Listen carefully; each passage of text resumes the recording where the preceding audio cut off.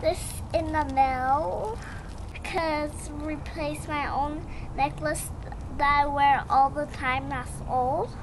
I'm gonna open it now.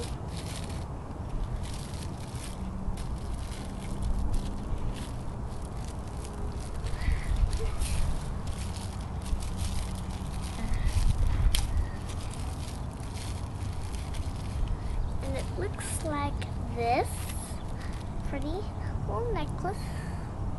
And it's really, really pretty. And I like it.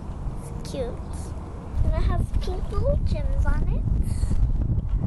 And there's six of them.